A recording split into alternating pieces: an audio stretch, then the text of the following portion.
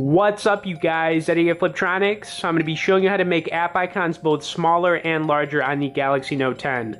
Alright, so after having this phone for a couple of weeks, the one thing I did notice that the apps are actually pretty big on here. So whether you're looking to make them a little bit smaller or a little bit bigger, you're going to be able to do that with this tip. Alright, so what you need to do is, you know, obviously go into your settings and you want to click on display.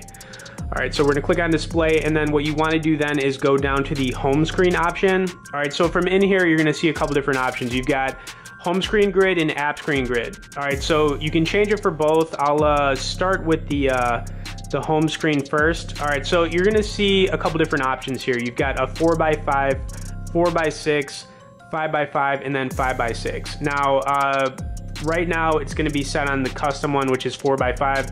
But you can see when you click each one of these, it kind of like condenses them and makes them a little bit tighter. So you can fit more things on a page, uh, you know, on your home screen or, you know, in your app drawer. So I'm gonna click apply, I'm gonna put it on five by six and you can see how much of a difference that is. It literally just moved all of these apps, you know, from the bottom to like the middle of the screen because that's how much I changed it. Um, I didn't do it for the app, uh, the app drawer yet, so I'm gonna go back into my settings. I'm gonna do the same thing for the app drawer portion. And let's go back to home screen, app screen grid, and then we're gonna switch it up to the five by six.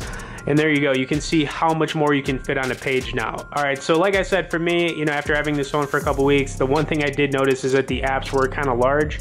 But depending on the type of person you are, if you like to have big app icons, you can make them um, a little bit bigger, a little bit smaller. This is how you would do it. All right, thanks for watching it, guys. Um, if you could, uh, you know, hit the like and share on this video, I'd appreciate it. If you haven't subscribed to us yet, hit that subscribe, and we'll see you in the next one.